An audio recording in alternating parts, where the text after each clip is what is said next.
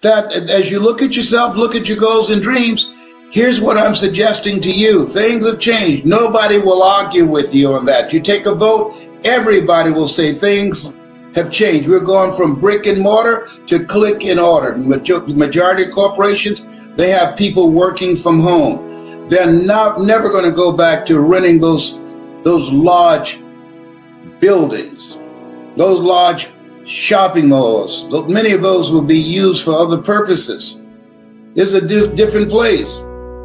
We've gone, as I say, constantly from brick and mortar to click and order. So now you have the ability to use your ability to communicate. And if you're not good at it, learn, invest in yourself. That's what I did. Things have changed. I want you to write this down. Make the change work for you. Make it work for you. A lot of people say, oh, I'm waiting on a stimulus check. Oh, whew. oh, they, they're playing politics with the stimulus check. Hey, there's nothing wrong with that. It's taxpayers' dollars, okay. But make this change that has taken place work for you. Find a way to create something that's you, that won't put you in this situation again. Find some way that you can leverage your knowledge, your experience, that you can begin to look at controlling your own personal economy, and that you're not at the effect of what the government does or what's going on in DC or what's going on in the White House, that you control what's going on in your house. You got greatness in you. You can do more, but we've been programmed, we've been schooled. It's, it's no accident that, that we think in a limited way because we have not been trained to be entrepreneurial in our thinking. We've been groomed. Manufacturers have groomed educational systems to prepare people to work on jobs. And now we are at the end of work. Now, the time that you can go to college and graduate and get a job and work 40 years, that day is gone. Now, you have to find a way in this new economy to work for you. And I know you can do this. I'm 75. You will not find me at one of these large grocery stores that's about to close down uh, being a greeter. Why? Because I'm expanding my knowledge, my abilities, and skills. I will not be like one of my classmates that I graduated with from Booker T. Washington High School in, in 1963. He said, Man, I see you all over the internet man, you, you're training speakers. You you're speaking. You look real good. You look like kid from house party, Kid 'n Play. Man, you're doing it. I said, what are you doing? He said, oh man, I've lived my life. I say, excuse me? Am I talking to a ghost on the other end of the phone? We both are 75.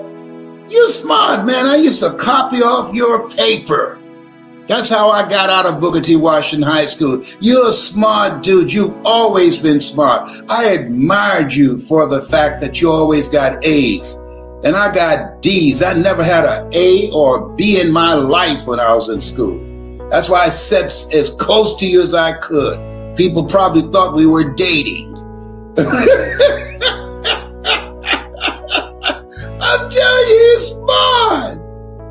He said, Oh, I'm through. I have lived my life. Do you know how many people, and I know you know some, they have lived their lives. They're not living a life of contribution. Mm. That if they died now, the conversations, the stories about them would end probably in a week or two weeks.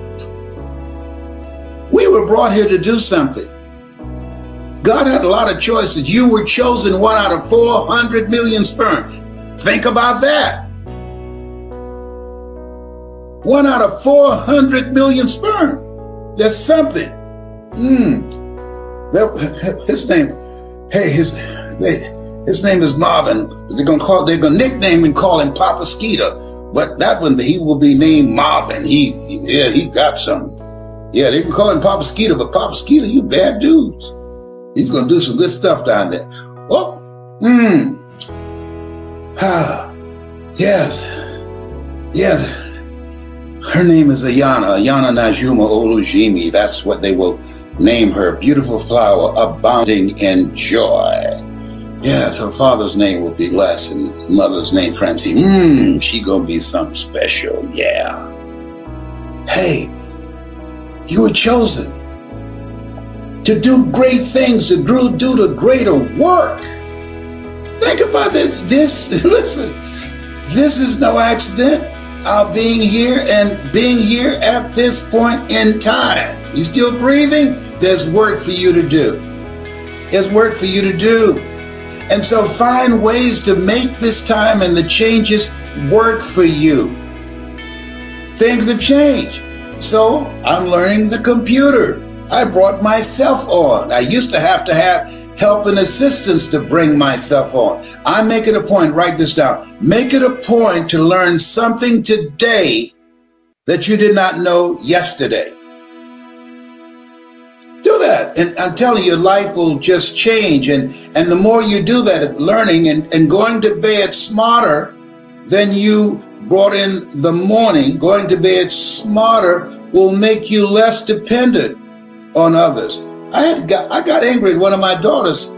I was asking her to do something for me, and and she didn't do it. And finally, I said, "Why won't you uh, do what I need you to do? I need your help on something."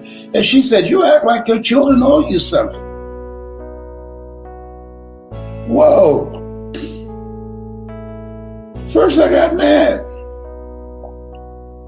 Then I thought, no, she doesn't owe me anything, nor my stu- my children. No. Yes, I paid for her to go through Spelman College, but she don't owe me nothing. Guess what? I figured out how to do it without her. And, but it also served me notice. The Bible says once a man, twice a child. So I said, I've got to take care of the old man in me because my kids don't owe me nothing. So I better be wise, watch as well as pray, and exercise and be selective of my choices in my eating and, and think and keep my mind sharp, read and, and doing a variety of things so that I don't end up with Alzheimer's or dementia. Be actively engaged in life because mama used to say, if you don't use it, you lose it. It takes longer to wear out than to rust out. It's a time to be engaged in life not being a witness, not just listening to all the statistics on the, the spreading of the coronavirus. You want to be concerned and stay out of harm's way, but not consumed with the statistics and, and hoping that you're not in the number. Just stay a proper distance from people. Be mindful. Be concerned, but not consumed. And live and maximize the available time that you have on the planet to do some other stuff. My goal is to finish strong. I haven't done my best stuff yet. Are you kidding me? No. He's old. I've lived my life. Because you 75? You've lived your life? Come on. Come on. Probably if he died now, they have to do a GoFundMe to bury his behind. No, this thing called life Herein my Father glorified that ye bear much fruit. That, that we are here to bear much fruit, to do the greater work, because we can. To, to leave a legacy. A good man leaves a legacy for his children and his children's children. And so when you look at yourself, look at your goals, look at your dreams, make what's going on work for you. Look for the possibilities. Don't depend on the government. If they come through, fine. If you have a great inheritance, fine. If people will come to your rescue, your children be volunteered to work and take care of you, fine. But if that doesn't happen, I love the song. Mama may have, Papa may have, but God bless the child who has his all. If something happened to me and I couldn't take care of myself, I know one of my sons. Will he wipe my behind? No, he'll he'll write a rap song about it. then I got a daughter. She will pray for it. I got two that'll pray for it, but they ain't gonna wipe it down. You got to know who's gonna wipe your behind. I, I hate to go there. uh, will I go be able to stay with them? Uh, I, I, got two of them that I can stay for about two or three weeks, and then they can say, you know what, Daddy? Mm, I think you want out your welcome. You talking to yourself and changing my stuff around up in here, up in here. I like the shades being down. You like the shades being up. This is my house.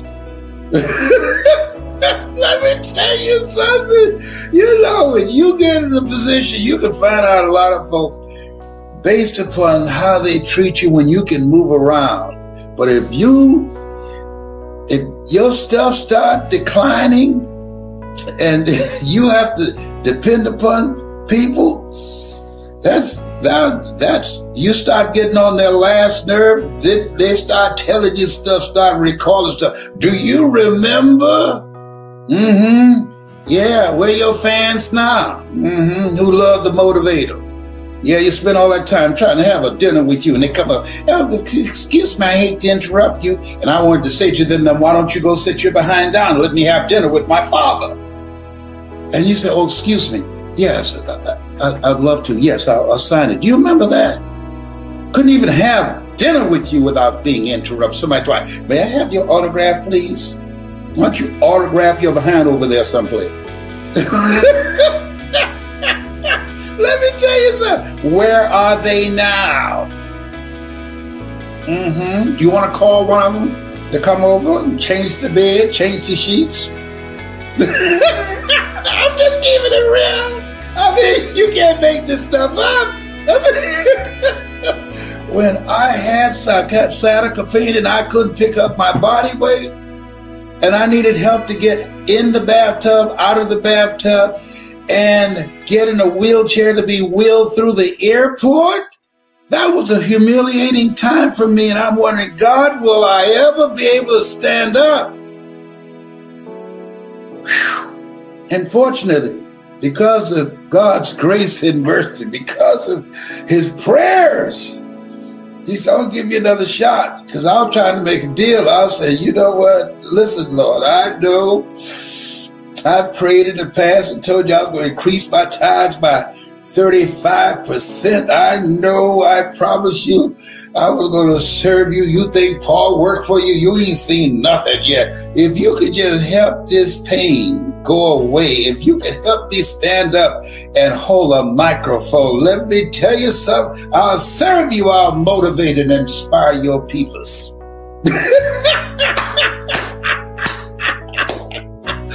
You're having too much fun. Hello? Listen, do something that's you. People say, Boy, you look young. You don't look 75. I know. If you spend 40 to 50 hours a week doing something that's not you, it will age you. It will age you. I have people come up to me, Mr. Brown, I've been listening to you since I was a little boy. And I say, is that right? then that makes me 150.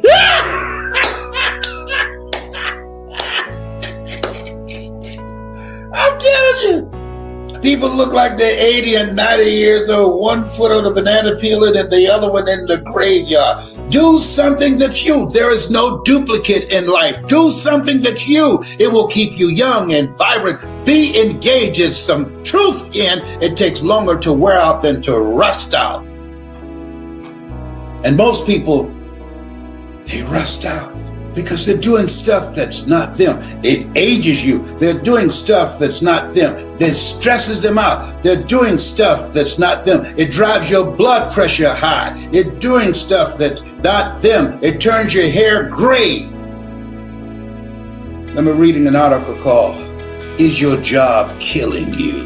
Mm. Let's imagine going to a job that's killing you and at the same time you hope you don't get fired why? Because it pays the bills. But you know what? There's some of you listening to me right now say, Les, you talking to me. Hey, Les, I know what you're talking about. Going to a job that just pay the bills, it's not enough. I want to do something. That's me. And you owe that to yourself. You're made in the likeness and image of God.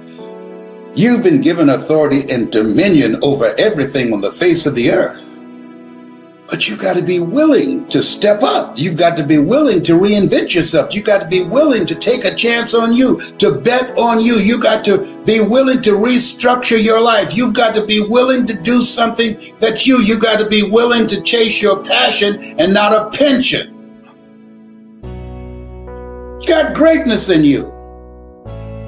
But the reason I say this over and over and over again, they don't tell us this. Let's get a good education and things will work out just fine. Is that right? I don't think so. Things have changed. Take the time for quiet listening. In every area of your life. I, did something the other day and I asked myself, do I need to still do this?